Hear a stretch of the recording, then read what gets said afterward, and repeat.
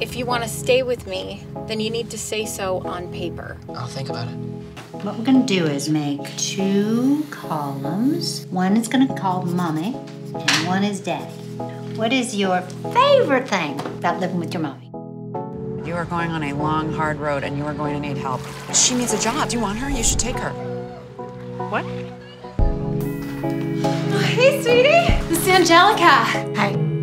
Let's get a couple things straight. You're not my babysitter. You are the baby's babysitter. Hey Ray, uh, do you have any more of that stuff? Why are you selling? What you a rich kid? Can you get DMT? If you give me some notice, I can let you know.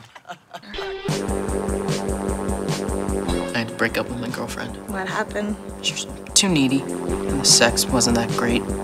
This is just a one-time thing. Cool. I'll just let my mom know it was a one-time thing then. So, are you seeing anybody? Nope. I'm psychic. You're gonna get busted.